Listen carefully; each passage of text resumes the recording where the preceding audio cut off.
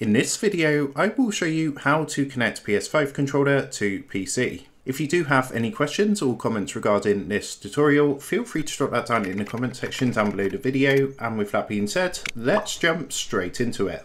So here we are, as you can see I've got my controller and my PC is open. Now I know you can see this is a Mac, but this Mac is currently running Windows.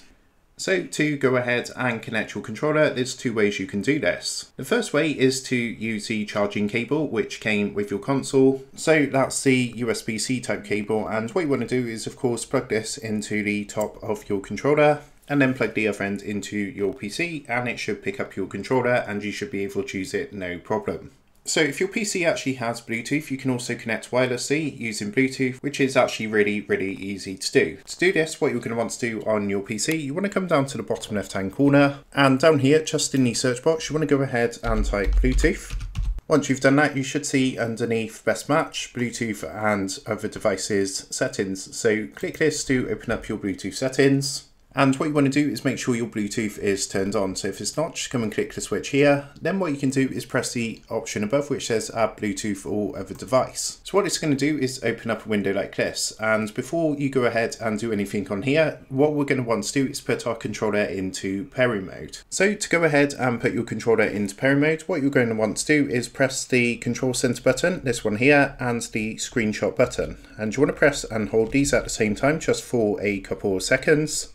After a couple of seconds, what you will notice is that the blue lights are going to start flashing, which shows the controller is in pairing mode and ready to be connected.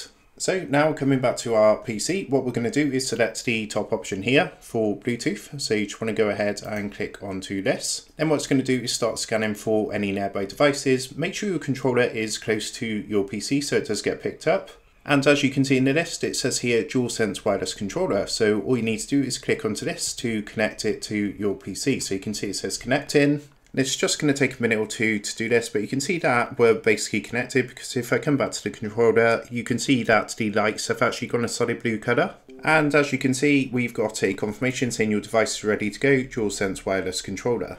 You can see a little pop-up down there which says setting up a device. And as you can see, it says down here, device is ready, DualSense wireless controller is set up and ready to go. So we are good to go. So all we need to do now is come out of this. And you can see now in the Bluetooth screen, it says down here, DualSense wireless controller connected. You can see we're connected because as mentioned, the lights have gone a solid blue color. And now you can just use that to play compatible games that will support the PS5 DualSense controller. So that is how to go ahead and connect your PS5 controller to PC. With that being said, I hope this quick tutorial did help you out today. And if this did help you out, I would really appreciate it if you was to consider dropping down below the video, leaving a like and also subscribing to the channel. With that being said, I just want to take a minute to thank you guys for watching this quick tutorial and I will see you in the next video.